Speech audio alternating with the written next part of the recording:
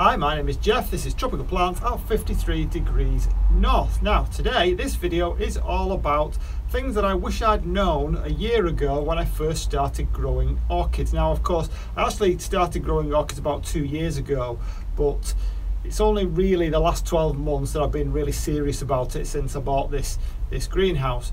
So this is the first time really that I've been able to provide the, the proper conditions. So what I'm hoping to do today is I'm going to go through 10 separate things which will hopefully help you if you are growing orchids maybe probably more suited to people who are growing orchids in a, an unsuitable climate. So let me first tell you, if you're not one of my regular subscribers, let me tell you first of all about the conditions that I've got here.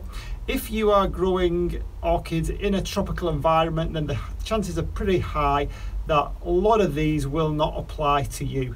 These are very specific to growing orchids in uh, a non-suitable climate. So I live in the UK, the north of the UK, a very temperate zone. And what we have here, we have seven hour days in winter, which of course is way too short for orchids. And we have extra long days in summer, which is probably too long for orchids. We get dark, dull days, lots and lots of dark, dull days. High humidity, which is fine, but we also do have some periods of low humidity we have very cold temperatures, we have frost, we have snow during the winter months. So we pretty much have everything that you wouldn't want if you're trying to grow some orchids. And of course, this is a greenhouse, it's not a grow room or a conservatory, which to a large extent uh, they kind of insulate against the extremes of those elements, whereas in a greenhouse it's amplified to a great extent. So I'm hoping that this will help you if you're a beginner and help you to prevent you making those same mistakes that I've made and if you're not, if you're a, an experienced grower then perhaps it will serve as a reminder. So let's get started.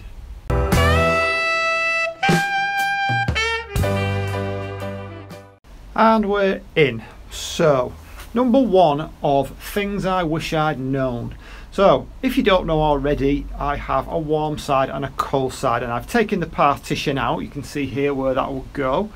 Um, just so I can do this video really. So over on the cooler side, which you're looking towards, I had a number of orchids and I'm just going to move over here to the warmer side because what you can see here are damaged orchids mostly from letting them drop below the kind of preferred temperatures. Now the the leaves on here that were the worst damage have been removed. So these this spotting that you can see on here is what's left, the ones that weren't that bad. So there, there was there were worse on there, and same over here. So we've got uh, this one is a Brassia and that one is an Abojadera and you can see these black leaves on here now this one is got a bloom that one completely lost all its all its roots uh, that one didn't lose all its roots but it lost a lot of its leaves and there, there are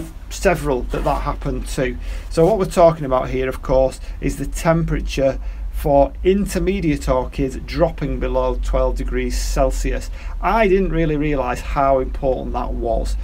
Now, if you're new to growing orchids and you maybe haven't yet figured out that there are uh, like a general three groupings of orchids. There are cool growers, there are intermediate growers, and there are warm growers. Now, this is very, very general because, of course, uh, many orchids straddle some of those some of those barriers as it were and also some orchids are a lot more forgiving than others some of them might be labeled intermediate but might be okay to go into the warm conditions uh, might be okay to drop into the cool conditions and so on uh, but mine the ones that I had that showed the damage uh, that was literally, literally a week where I let them go down to 7 degrees Celsius. Why did I let them go down so much?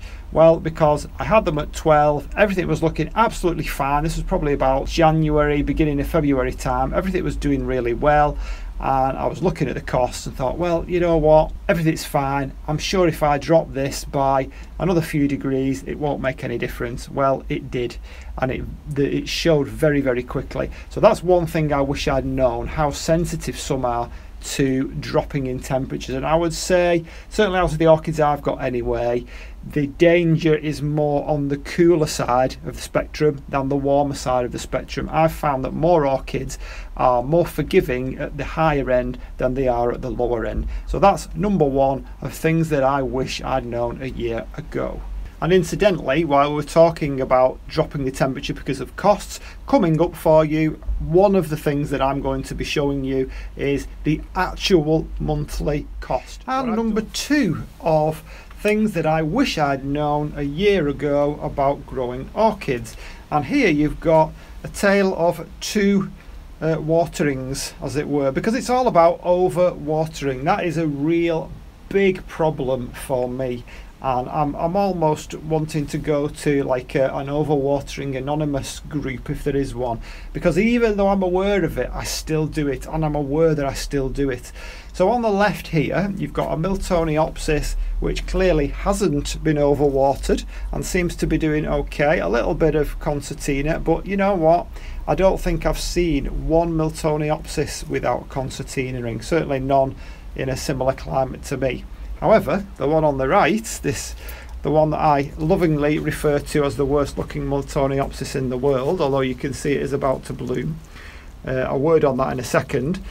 But this one was completely overwatered to death and it's very common on this plant because this one is uh, very very sensitive to either too much or too little water. It just likes it to be right and I did the probably common mistake for anybody in a climate like mine uh, who's definitely used to more temperate kind of plants where you just can't seem to overwater them they just they just are happy to get whatever water you give them that's probably because they're used to living outside in this country and it very rarely stops raining. So the problem was I don't think I had it in a clear pot and that's that's probably another one of my issues. If it's not in a clear pot, you can't see if it's still wet.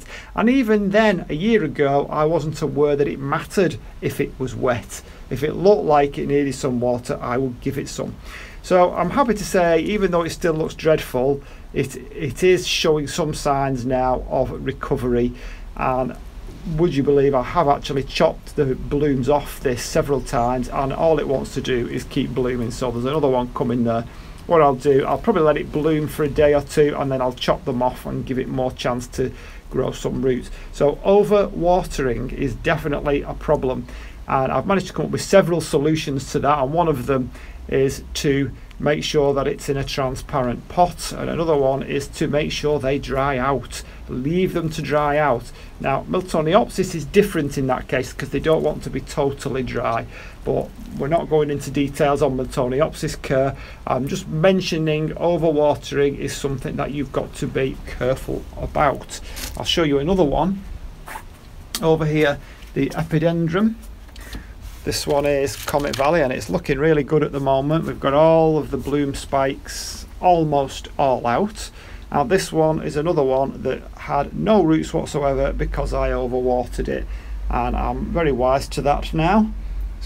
Definitely on a, an epidendrum anyway and I know when that needs watering and when it doesn't and letting it dry out is probably the biggest kindness you can do with orchids in a country like this because they they much prefer to dry out than they do to be sitting in water uh, and have it all around the roots. So that's the number two is overwatering. And number three of things that I wish that I'd known a year ago is also along the lines of the overwatering thing, and that is to make sure that you have drainage. Now I have these gravel trays, and underneath the pots I didn't used to put stones underneath, gravel underneath. Now I'm very careful of that because orchid roots again are very sensitive to being moist. Now in the wild you might say well they come from a rainforest and that rain is coming down quite a lot, quite a frequent frequent amount. But there's there, there clearly is something different because I've experienced what happens when they sit in water for too long. Now maybe it's because the rainwater is is fresh and it's constantly moving, whereas when it, they're sitting in that water it isn't, and there's no ventilation around that I don't know, but for whatever the reason, they don't like to sit in water. And even my Dendrobium nobilis starclass over here that doesn't actually have any gravel underneath you can see but it's in a black pot which is raised up and there's a hole in that black pot so I know that the water will drain through. So you don't want your orchids to be sitting in water in a country like this. So that's number three and number four of things I wish I'd known a year ago.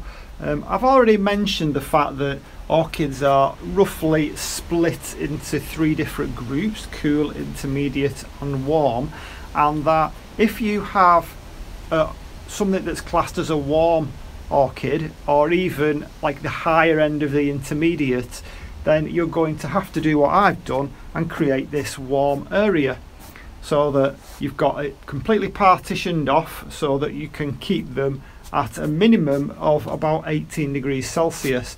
Now the issue with that is that I'm having to, even in the middle of July now, which is uh, our warmest month, July and August, warmest couple of months, even now I'm having to heat this side of the greenhouse. Like for example, last night it was down to about 12 degrees Celsius. So that heater down there was having to come on to kick it back up to 18 degrees Celsius. Now imagine if I hadn't have bought any warm growing orchids and I'd have only had those that didn't mind going down to 12 degrees then what would have meant for me was I was probably finishing my heating of the greenhouse around May time and might not even start it till late September early October. Whereas having the warm end of the greenhouse now I even though it means I can grow a wider range of plants it is a lot more expensive because I am constantly having to heat it up, especially at night, even during the day at some times, at some points of the month. In this country, it's all about the Gulf Stream, and when the Gulf Stream goes too high up, then we get pretty warm, steady, uh, settled weather. When the Gulf Stream goes too low down, as it's doing at the moment, then it's constant rain and wind and pretty cold and once it goes from one to the other it tends to stay there for a number of months. It doesn't kind of flip and flop uh, on a on a daily basis. So yeah that's definitely something I wish I'd known. And now that I do know maybe it's too late I don't know but perhaps in future as things move on I might open it back up and just have cool to intermediate orchids growing in here. Um, and that will definitely save me on costs. But we'll see, as long as I can afford it, I think I might carry on for a little bit longer. And number five of things I wish I'd known a year ago. So here's a view you don't normally get from about two feet high, looking upwards. but actually we're going to look downwards because this is all about heating costs. So if you're in a similar situation to me, you're, you're in a, a, temperate zone and you have to heat up your grow space or greenhouse. Obviously, if you have a grow space or a conservatory, then it's going to be much, much cheaper for you compared to me because the only insulation I've got, as you can see, is bubble wrap. And I've left most of the bubble wrap on because it would involve me taking all these plants out if I wanted to change it. And I know I will have to at some point, but hopefully that's in a number of years time. So uh, I did do a video on this a number of months ago where I showed you how I calculate costs and the gadgets. I'll just point to them over there. there's a little gadget there and there's another one there which are attached to my heaters. And what they do is they tell me exactly how much it's cost me on a day-to-day -day basis to heat overnight. Now obviously it's certain months of the year they're even heating it during the day. So lots and lots of figures there. And what I've done here just to simplify it a bit. I have broken down or added up if you like the exact amounts that it's cost me through the year so far. Now a few things to mention. I only did a couple of months in August there where I heated it because obviously August at that point I didn't have the cold side and the warm side everything was in the whole greenhouse. It was just one big space. So I was only keeping it to about 12 degrees. So September August September you wouldn't expect it to be to be on the heaters to be on for a, a long time and of course it wasn't. £6.93 it cost me. October beginning to get a bit colder. Still no warm side set up at that point, £25.75.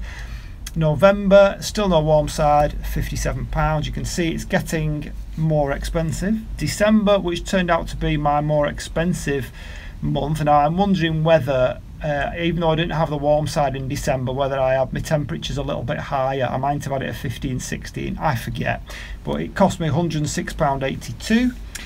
January, getting into winter now, £92.90. I built the warmer side round about January, February. £97.96. March, 77.26. I'm sure you can read them yourself.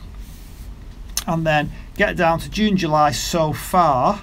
I'm still paying. So all of June and what are we now? 10th of July as I film this it's cost me £44.95 so I'm still paying for the warmer side. When you average that out I know this is a very rough calculation because it isn't 12 months it isn't even 10 months it's kind of a you know rough roughly 10 months averages at about £61 per month. Now that can change on a year to year basis because we can very definitely get colder winters and milder winters. I remember a few years ago we had a winter where it snowed like for months on end and we had temperatures down to minus 8, minus 10 in this area. And there are winters where we don't get anything like that, you know, where it very, very rarely goes frosty over winter. So I would say last winter was an average-ish winter from the winters that I recall.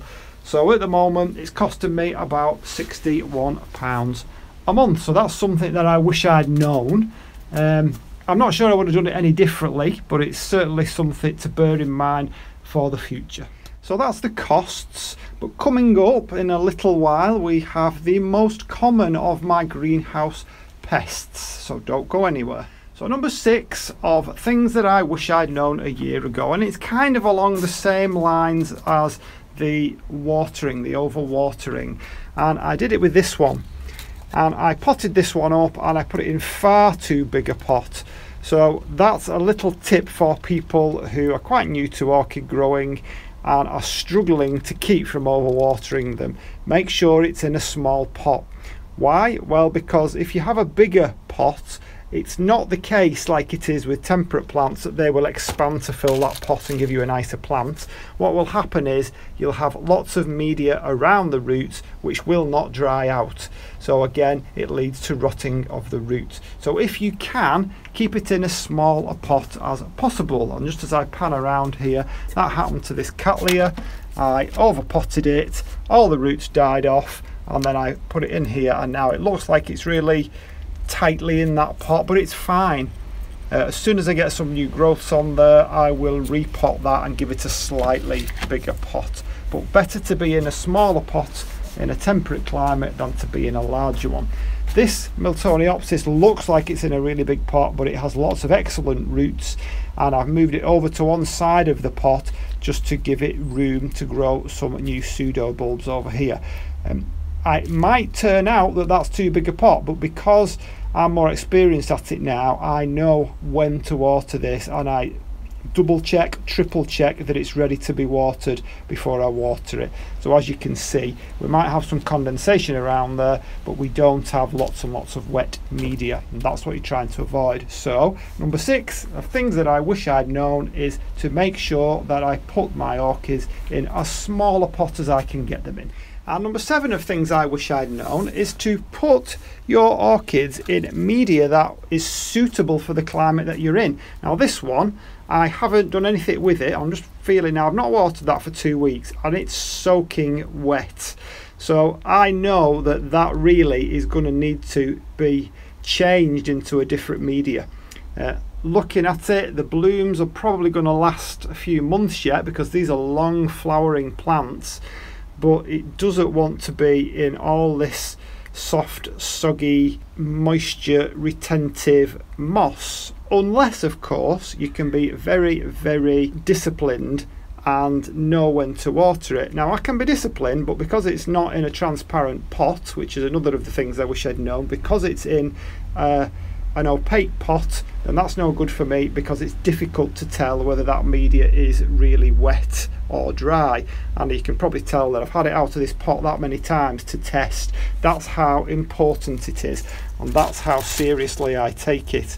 I used to think that they were in transparent pots because they photosynthesize and I think that really is a little bit of a myth that's come from Phalaenopsis orchids because these are, are green roots people have said to me in the past, well, yeah, that's because they like to photosynthesize. And maybe they do. I don't know if they do or they don't. But that's not the reason that we put them in transparent pots. The reason for going in transparent pots is because they're so prone to rotting at the roots if you leave them wet. So you must make sure that they're in a transparent pot and then you can see what's going on. So that's my next item on the list. And number eight on my list of things I wish I'd known is the pests, the one you've all been waiting for. So, what pests are most frequent in my greenhouse? Well, for orchids, we've got to separate them out here because I have different pests for different plants because I don't only have orchids in here. So for orchids, it's definitely toss. It's a bit of a toss-up between spider mite and slugs. This one over here has had spider mite and if I'm not careful it'll get it again which is something that I must make sure that I do. You've got to keep constantly checking your plants really close up. Spider mite is one that I really don't like because I can't tell uh, I'm short-sighted and I'm at that age now that even when I have glasses on and the bifocals, when I get right up to them, I still can't see them. I need to take I need to take my glasses off. I need to take my contact lenses out to get close enough to see the spider mite. They're so small. So spider mite is probably number one enemy, which I'm not really keen on. Uh, I have used systemics. I've used it on this one but I'm really I've, having used systemics for the last eight ten months I'm really not that thrilled with the effects that they have they might get rid of that pest but they cause so many mutations Uh, especially in the streptocarpus, which I know we're not talking about today, but they cause that many mutations that I really would like to try and avoid using systemics if at all possible. Somebody mentioned neem oil to use, but then again, somebody else said if it's in a greenhouse, it will actually cook the plants rather than uh, just save them from a, a pest. So we, we would just jump into another problem there. So I'm still not sure what to do about that, but fortunately at the moment I seem to be pest free, although I've just had some green fly on the strips, uh, but that's easily sorted. For the orchids, so far I've used systemics, and so far it seems to be keeping them those particular pests at bay. But my other pest that I get quite a lot of are slugs. Now you could go around this greenhouse and you would think that there is nowhere to get in, but they will find it. It is a greenhouse, it's not a house. There are, you know, it's not completely airtight and there are lots of vents, there are lots of windows, and they get in somehow they get in. So the best thing to do is to come in at night time. Practically as soon as you get to that point, I'm not talking about dusk, as soon as it gets to like a real dark, just after dusk, then those slugs come out. So if you come out, you come out into your greenhouse with a torch, or well, I just switch my grow lights on. Have a really good hunt and a good inspection. You usually find them. It's not the leaves, in my case anyway, that they tend to eat. I know they can eat the softer ones like the dendrobium ones, but they don't tend to go for that in my case. They tend to go for the roots. Like for example, this one, which this is a Laelia anceps, which has a wonderful spike on there just developing and we can see that. But this one I could see some telltale slime trails over the pseudo bulbs and the leaves but when I looked down into the media there was the slug right in the middle of the pot like but inside the pot. So I had to well I couldn't unpot it because of those roots down there. I didn't want to cause a problem with the roots that were already there so I managed to stick a penknife down the side I mean this is really gruesome. I managed to spear it. Uh, but this is what happened and this isn't the only one it happens to.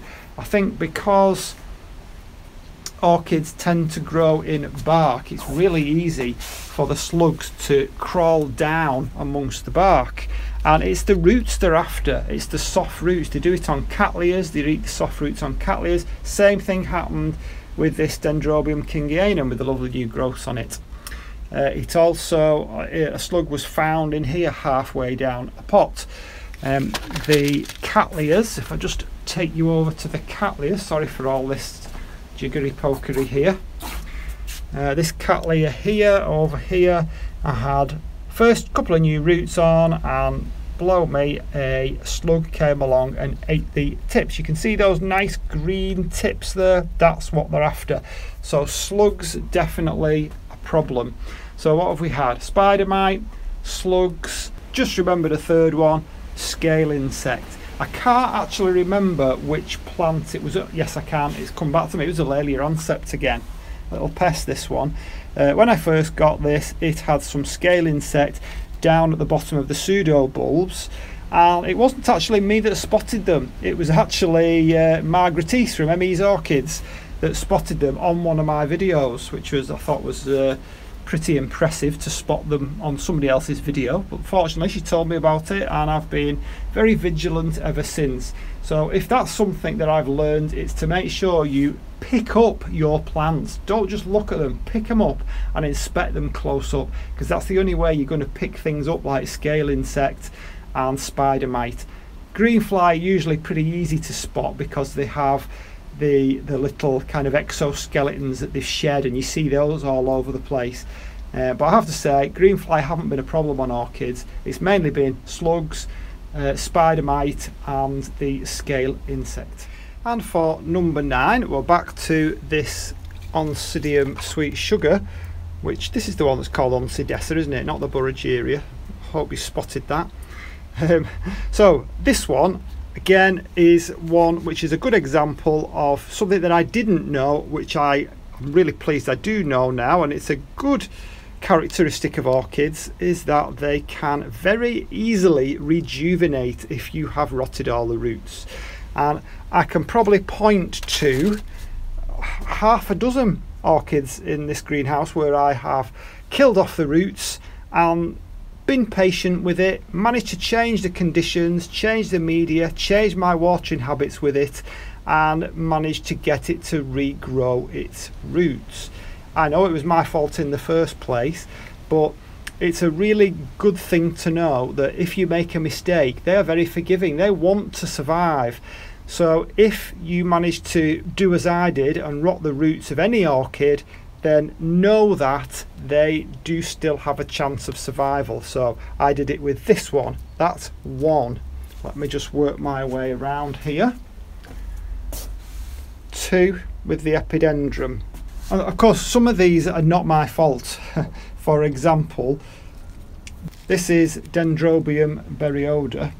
Uh, this one had no roots. I potted this up rather recently, but it had no roots because that's the way it arrived and if you buy your orchids from a place like I buy them from then you don't know until it arrives. If you're like me you tend to leave it until it's finished blooming and then when it's finished blooming you unpot it and then that's where you find the good or bad news. But I'm not worried about it anymore because I know it's got loads of new growth so I know that now that I've chopped off all the dead roots that it will rejuvenate so I'm just keep looking round here. So that one lost all its roots. That one did. Um, no, Zygopetalum was okay. That one hasn't got any roots, or it didn't have last time I looked. This one, the Dendrobium Thailand Black, you can see there. I don't know if you remember the video I did on that where it had no roots. It's now about to bloom and it's got a new growth. So it's certainly not the case. Oh, and of course, this one, this Cattleya, which had it was a massive Cattleya. It had nothing, no roots whatsoever. It was just like a flat rhizome once I cut all the roots off. But you've got new growth there, another new growth there. Gosh, they're very sticky. I'm hoping they're going to have some blooms in because they were gorgeous. This was another Cattleya. This was an orange Cattleya again. Tons of new roots now. So don't be afraid of cutting all the dead stuff. Some dead stuff on there the top there. So one of the best things you can do is get to recognize which are dead and cut off the dead ones and you will get some new ones if you are patient. So that is number nine of things i wish i'd known right at the beginning. And number 10 of things i wish i'd known a year ago. So number 10 is all about what satisfaction and immense enjoyment I get from coming in here. This is my little piece of tropical paradise.